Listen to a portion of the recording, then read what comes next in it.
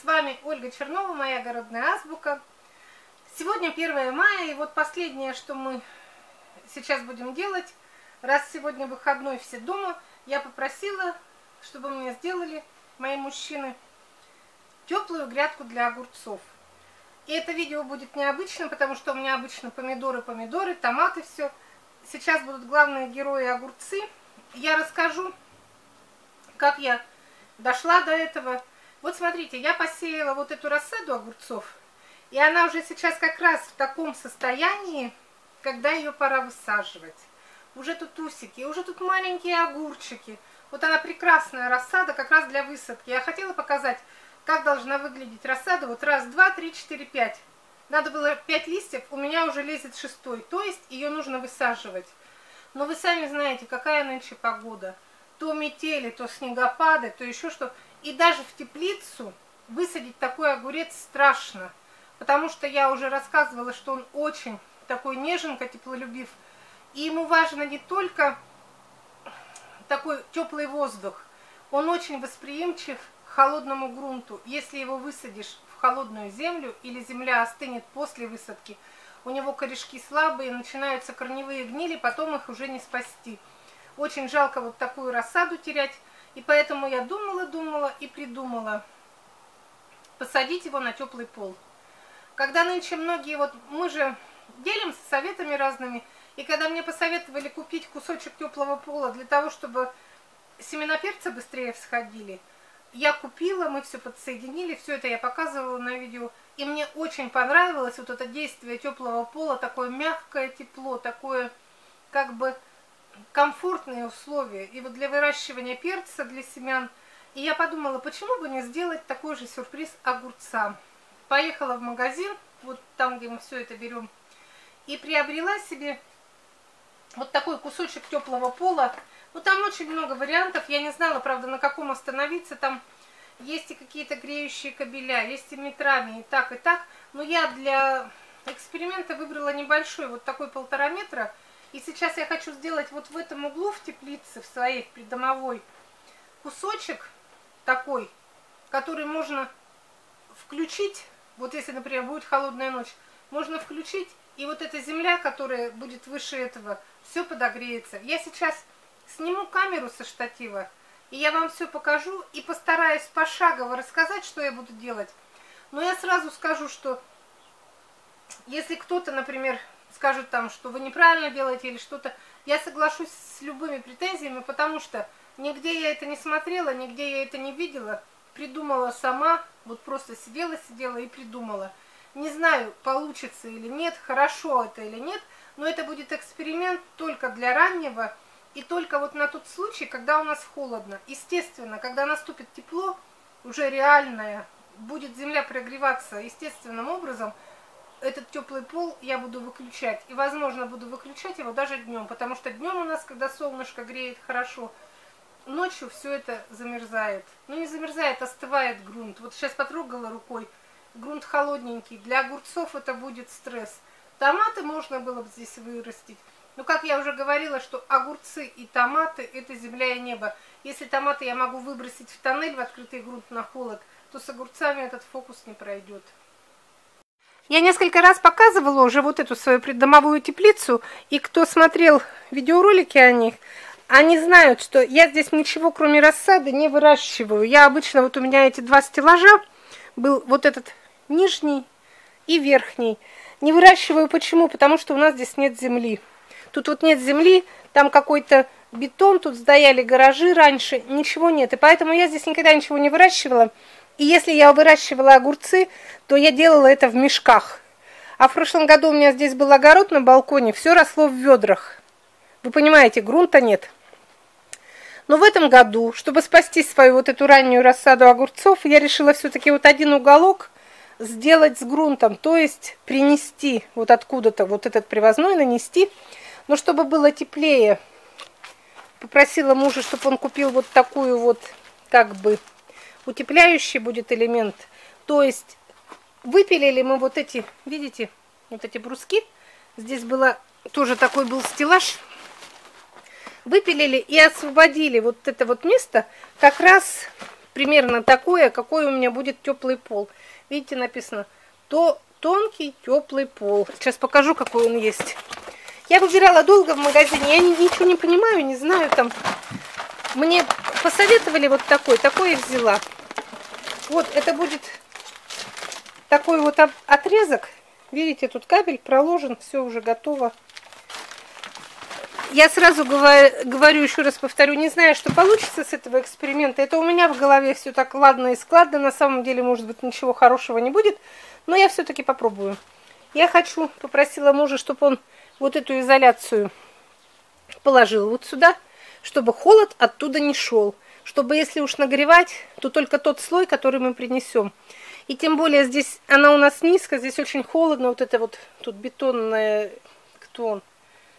как называется, а, фундамент, он очень холодный. Я его попрошу, он сейчас вот здесь положит вату. И вот так вот немножко от стены тоже немножко бортик. Сверху я постелю нетканку. Потом уже вот этот вот кусочек тонкого теплого пола. И уже на него насыпать слой грунта, который потребуется огурцам. Преимущественно перегной. Будет там трава, земля, перегной. Я постараюсь пошагово, когда будем делать, все вам показать. Вдруг, если у меня потом хорошо получится, может быть, я кому-то могу сказать, что я делала вот так, и хорошо получилось. Но пока что это еще все в стадии эксперимента. Никому не могу посоветовать сделать так же, потому что сама не знаю, что это будет. Но еще меня смущает, что у нас теплица старая. Вот градом ее в том году пробила, она немного как бы туда пылька забивается. Я боюсь, что будет мало света огурцам. Но все-таки рискну. Мне кажется, в солнечную погоду им хватит света, если еще будет тепло, то первые огурцы не за горами. Дальше что будем делать, я буду вам показывать. На землю положили вот это вот, как утеплитель, какая-то она минеральная вата или что, я не знаю. Сейчас нетканку постелим, и сверху уже вот этот, как бы теплый полик, или кто он, греющий кабель – и его уже начнем засыпать землей. Землю для огурцов, конечно, пожирнее. Я решила, что будет одно ведро земли на три ведра перегноя, потому что перегной у меня старый, уже трехлетний. Он сам как земля, просто земля жирная, чтобы потом уже не удобрять никаким, не, не травяными вот этими настоями, подкормками, чтобы на сезон весь хватило, сделаю побольше перегноя. И вот этот вот уголок такой теплый будет для первых огурцов. Вот нетканку настелили, уложили пол. Сейчас попробуем сверху прямо на него покласть землю. Теперь, когда положен небольшой слой земли, вниз землю ложу не жирную, не плодородную, а такую обыкновенную. Потом идет слой травы, вот той травы, которая у меня сидираты выросли, потом выросли вот эти все сорняки в теплице. Она у нас будет как прослойка, как дополнительная подушка и как дополнительное питание. Она будет под землей перегнивать, и огурцы, если не в этом году, то на следующий год это будут питательные вещи. На травяную подушечку уже тогда можно наложить хорошей земли. Вот это вот у меня перегной, видите, какой жирненький. Он перегной, он как земля. Можно вообще было посадить в один такой перегной, но мне и жалко тоже его, он быстро кончается. Будет перегной здесь вместе с землей. Сейчас вот мне муж с сыном дала им задание, они мне сейчас натаскают. Я приду, все перемешаю, намечу, где у меня будут луночки. Сегодня уж в ночь, раз сегодня будет минус 4, не буду высаживать, а завтра утром выйду, включу теплый пол, потрогаю рукой, когда грунт прогреется до такой температуры, что будет тепло, высажу свои первые огурцы которые для раннего урожая. Они бедные уже с маленькими огурчиками крошечными. Их пора высаживать.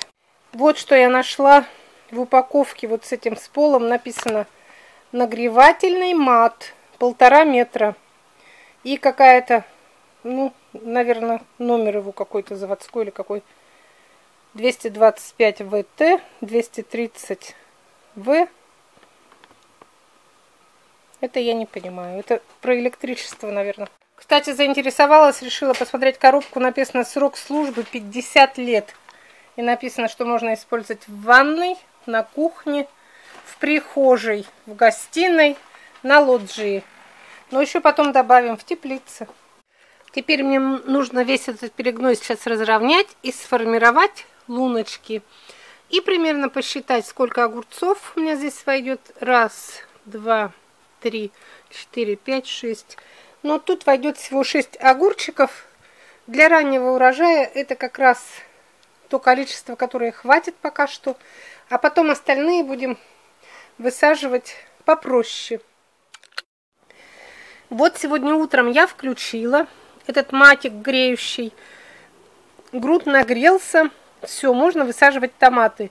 Я выключила из розетки, потому что боюсь первый раз все-таки заниматься вот землей, когда включено электричество. Сейчас я добавила сюда рыбной муки, золы, почва перегнойная. Сейчас буду высаживать своих зазулек первых.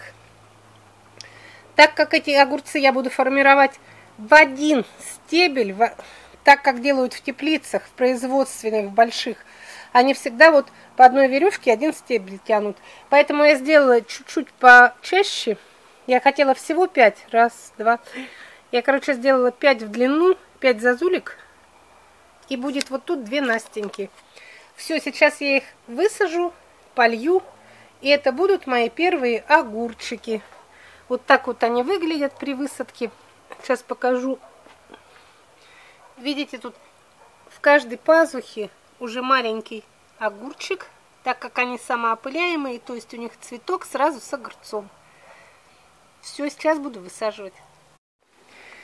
Вот все, 2 мая высадила свои первые огурцы для получения раннего урожая. Но высадила не просто, а на греющий мат, потому что на улице очень холодно. Посмотрю, что из этого выйдет, из моего эксперимента. Обо всем потом вам расскажу. Через несколько дней я их покажу. Сейчас я полью и все. Как они будут себя вести на этом мате, я, конечно, потом вам расскажу. Все, до свидания. После высадки огурцов в теплую землю, я же отключила это обогрев. Все, я на ночь боясь, что здесь будет воздух все-таки прохладный, я огурцы сделала вот такие. Сейчас уберу, покажу вам. Ай! Сделала вот такие, воткнула маленькие дуги. Это у меня еще остались с тех времен, когда я делала это укоренение хризантем, черенкование. Вот они у меня валялись. Хотела уже выбросить. Куда такие малыши в огороде? Дуги. Конечно, они очень маленькие. Но для маленьких огурчиков они пригодились. Вот огурчики даже хотят тут зацепиться уже. Как вы видите, огурцы чувствуют себя прекрасно, хотя ночью у нас было минус один на улице. И тут уже муравьи по ним лазят. Мама моя родная. Какую бы землю зем... с улицы не занес, все полно муравьями. Нынче, наверное, придется обработку делать капитально. И вот, дальнейший мой шаг, раз они уже, видите, они уже большие, они уже с маленькими вот эти сразу с завязями лезут. Мне теперь останется сейчас протянуть веревочки. Я вот сюда к этой верхней пока на метр сделаю. Протянуть веревочки. И последующая вся неделя у нас солнечная, жаркая. Это самое то время, которое любят огурцы. Они любят высокую температуру, любят влажность. Им нравится вот так, когда они в росе. То есть нужно выходить их немножко спрыскивать, опрыскивание делать. И все. Когда получу первый огурец, я вам покажу. Но я думаю, это точно будет в мае. Если, конечно, они не сжарятся, не замерзнут, но я буду за ними следить. Все, первые огурцы у меня чувствуют себя хорошо после высадки.